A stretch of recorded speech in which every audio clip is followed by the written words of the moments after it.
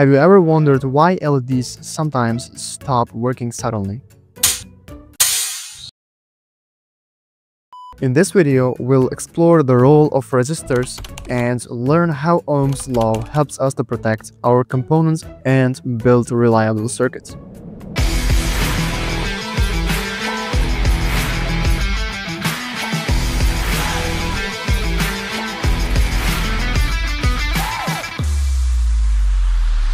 What is Ohm's law?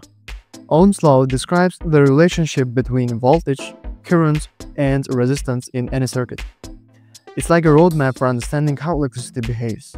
Now, in this example, think of voltage as water pressure, current as the flow rate, and resistance as the size of the pipe controlling the flow. Resistors are essential in controlling the flow of current in a circuit. Without them, components like LEDs can receive too much current and get damaged like in the beginning of the video. So how are we gonna calculate the resistor's value? Let's calculate the resistor value needed for this LED circuit.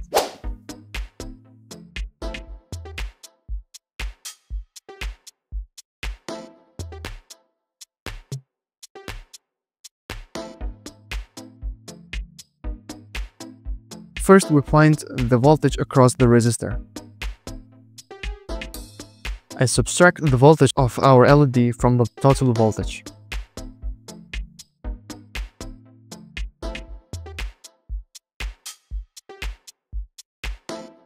Next, we use the formula resistance equals to voltage divided by current.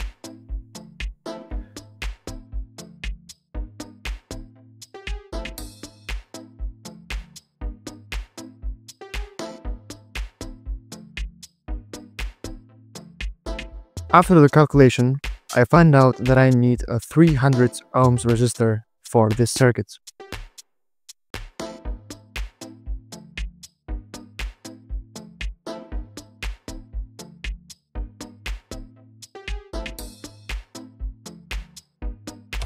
So how do we find the resistor with this ohm value? From the color codes on it.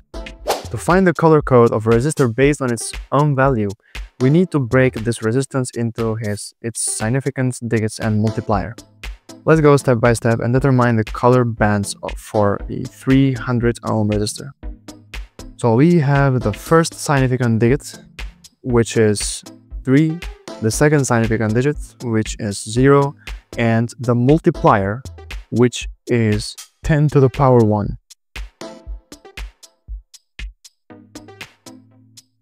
Now let's map these digits and the multiplier to their corresponding colors. The first digit is 3, and the color for 3 is orange. So the first band on the resistor is orange. The second digit is 0, and the color for 0 is black. That means the second band is black. And the multiplier is 10 to power 1, and the color for 10 to power 1 is brown so the third band is brown. And that's how you can find resistor's color code based on its ohm value. Contrary, you can find the ohm value from the color code of a resistor. Every color expresses a value. Whenever you're working with resistors, always double check the color code using resistor color chart to ensure you've identified the correct value. There are already sites that you can calculate the resistance. Resistor calculator.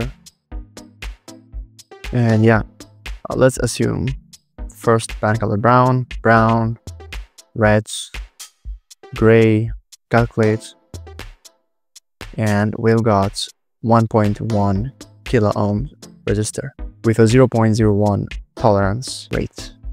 Now let's add the resistor to the circuit. However, since I don't have a 300 ohm resistor currently, I will use a 220 ohm resistor instead.